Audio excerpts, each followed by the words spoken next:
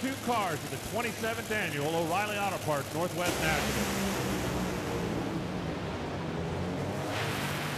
Get out of the Kalitta's way in the mosh pit. 3.84 to a 3.88.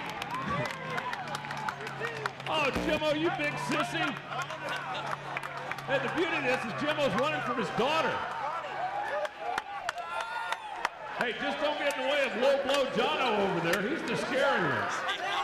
The ninth final this year for Doug Kalitta and this team, but only the second time to break through, and it's been a long time coming, and I know how badly this team wanted to win at this racetrack. First victory here, you tied Don Garlits, Big Daddy, yeah. 35 all time. What jumps out in your mind, Doug? I tell you, he uh, he's the man, and I tell you, I've been chasing that little statistic down for a while trying to get there, and uh, you know, just uh, incredible day you know, just really uh, can't say enough about Jimmo and this whole Mac Tools team.